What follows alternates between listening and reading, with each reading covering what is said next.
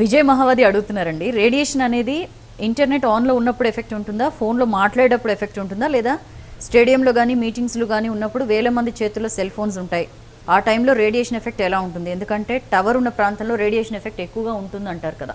యాక్చువల్గా ఏంటంటే మీకు టవర్ ఎక్కడున్నా కూడా టవర్తో సంబంధం లేదు. మీ పర్టికులర్ డివైజ్ వచ్చేటప్పటికే మీ డివైజ్ మీ ఫోన్ టవర్ కనెక్ట్ కావడానికి కష్టపడుతూ ఉంటే కనుక ఖచ్చితంగా మీ ఫోన్లో రేడియేషన్ అనేది ఎఫెక్ట్ ఉంటుంది.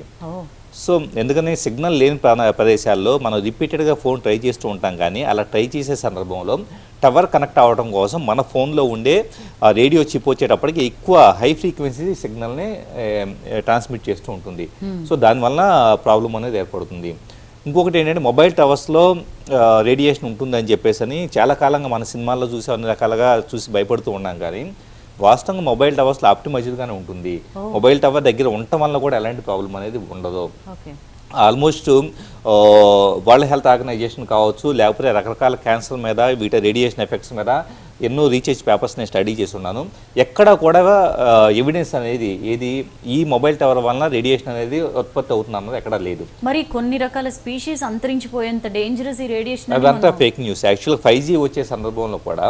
దానికి సంబంధించేసి మనకి రీసెంట్గా ఒక బాలీవుడ్ నటి కూడా ఫైవ్ జీని మీరు అనుమతించవద్దు ఈ విధంగా ఇవి చనిపోయినాయి వేరే దేశంలో అని చెప్పేసి అని కొన్ని విజువల్ ఫుటేజ్ని తీసుకొచ్చేసి తను ఒక ఇది ఇష్యూ తీసుకురావడం జరిగింది.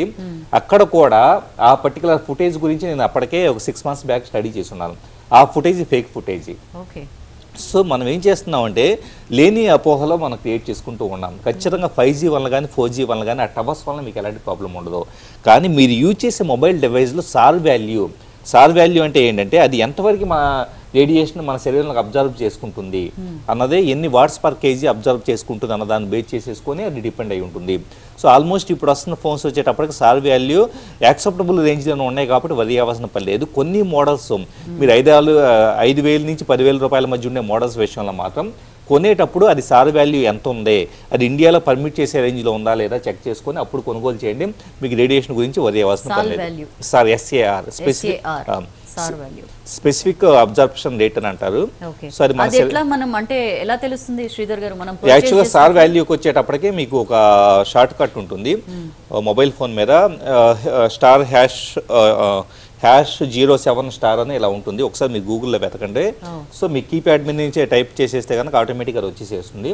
కొన్నిసార్లు బాక్స్ మీద ప్రింట్ చేసి ఉంటుంది. కొన్నిసార్లు మీ మొబైల్ మ్యానుఫ్యాక్చర్ వెబ్సైట్కి వెళ్ళి మీ ఫోన్ మీద మోడల్ ఎంటర్ చేస్తే కనుక ఆటోమేటిక్గా సార్ వాల్యూ తెలుస్తుంది.